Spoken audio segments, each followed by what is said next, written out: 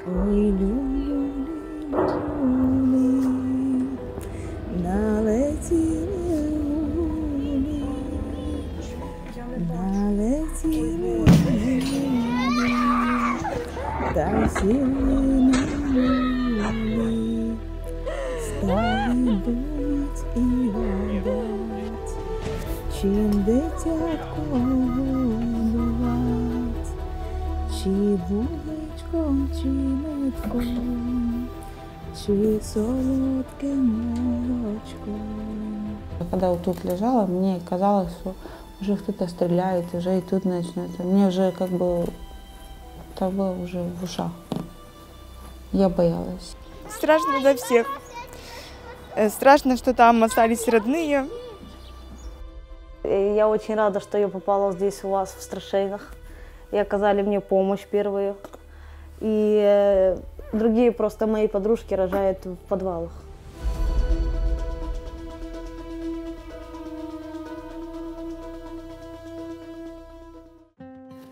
Познакомимся.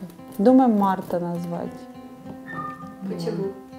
Потому что она 8 марта родилась. Marta urma să se nască la spitalul din Odessa, acolo unde era internată mama ei în ziua în care a început războiul. Там начали стрелять, стрелять нач- начали сирены включаться, у нас в подвал. Подвал, где больница? Да, да, там больница есть подвал, у нас постоянно туда. Включалась сирена, у нас в подвал. Включалась сирена, у нас в подвал всегда. Acolo, în subsol, Roza a reușit să surprindă în câteva poze asistenta medicală, epuizată după ce ajutase o femeie să nască. Мы побежали все вниз, там девочка рожала. Прям. Когда началось вот это все, суета, началась э, сирена включилась, мы все бежали в подвал, а она рожала. Însărcinată și speriată, Roza a urcat în mașina soțului direct din spital, în papucii de cameră, în această rochie verde și halatul de spital pe deasupra. La vamă, el s-a întors, iar ea a fost preluată de voluntarii de la Palanca, încălțată și îmbrăcată din donații. Я села в маршрутку, они меня там спрашивают, девушка, ты куда? Я говорю, так и так, мне надо в больницу срочно. Она меня определила в больницу. Peste o săptămână, Roza a născut la Institutul Mamei și Copilului din Chișinău. У меня было 36, у меня еще 3 недели. Я раньше просто. Но мне как бы, я лежала, мне чуть, не- я даже когда вот тут лежала, мне казалось, что уже кто-то стреляет, уже и тут начнется. Мне уже как бы, это было уже в ушах. Я боялась. Așa a ajuns pe lume Marta. În aceeași zi, la maternitatea din Strășeni, se năștea Ivan. Зовут Ванечка, родился на 8 марта, вот такой маме подарок сделал. Родился, конечно, хотелось бы дома, но, к сожалению, вот так вот и вышло.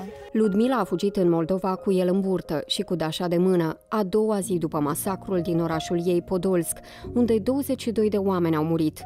Soțul ei a rămas în Ucraina să lupte. Acolo i-au rămas și părinții Și surorile.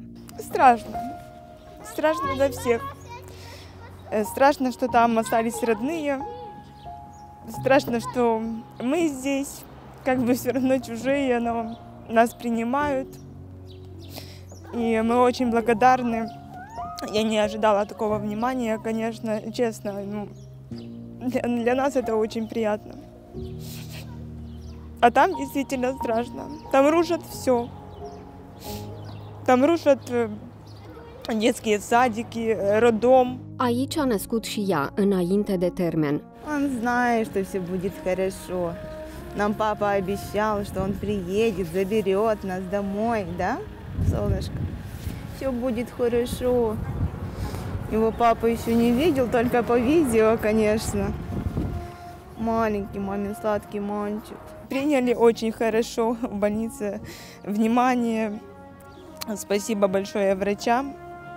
Они сделали все, чтобы я и ребенок были здоровы. Dar gândurile i-au rămas dincolo de graniță. Я хочу, чтобы мои дети жили в своей стране, знали свою э, родину, учились э, в своих, э, своей школе. Так, как и дочка, вот ей идти в первый класс, я не знаю, что будет. Будем мы здесь еще или там. Хочется, конечно, домой. Хочется домой, потому что Ну, дом есть дом. Мы все оставили, свой дом, своих родных, близких. И все осталось там. Iar Dașa, care s-a împrietenit în curtea de la Vatra cu alți copii ucraineni, fugiți și ei de război, pare cea mai convinsă că va fi bine în curând. Ты хочешь домой? Ну, расскажи, ты скучаешь, да, зайка? Когда ты вернешься, ты что будешь делать? Играть зі своїми ігрушками. În refugiu s-a născut și Adelina, iar acum mama ei o leagănă în brațe într-o cameră din tabăra de odihnă de lângă Scoreni. Мы уже пойдем спать уже? Или на улицу выйдем? Нас зовут Аделина, мы родились 6 марта 2022 года. Здесь у нас в Страшене. Мы голые, обутые, вообще без ничего приехали в больницу. Нас приняли очень хорошо. И я очень рада, что я попала здесь у вас в Страшенах. И оказали мне помощь первую. И э, другие просто мои подружки рожают в подвалах. В бомбоубежищах рожают. И да, один врач на 10 человек. Toate cele trei femei din povestea noastră au născut înainte de termen, dar sunt bine, iar copiii sănătoși. De când a început războiul, 14 refugiate din Ucraina au adus pe lume copii în Moldova. Cei mai mulți dintre ei s-au născut la Institutul Mamei și Copilului. În instituție, 40 de femei gravide fugite din țara lor au primit îngrijiri medicale. șase au fost uh, spitalizate cu diferite uh, probleme, așa cum ar fi sarcină stagnată, uh, moartea antenatală a fătului și hemoragii. Celelalte au fost consultate. Toate aceste probleme pe care le-au suportat femeile au vreo legătură cu stresul, cu războiul, cu drumurile? Desigur, cu... desigur. Este stresul. Alimentarea, e clar că ele nu se odihnesc, nu se alimentează la timp, nu au un regim care se recomandă gravidelor. Toate acestea, desigur, au o influență nefastă asupra sănătăților. Și toate își doresc ca atunci când copiii lor vor crește să afle despre război doar la timpul trecut. Trecut, dar imposibil de uitat. Расскажу, как нас приняли, как за нами смотрели, как э, нам помогали люди.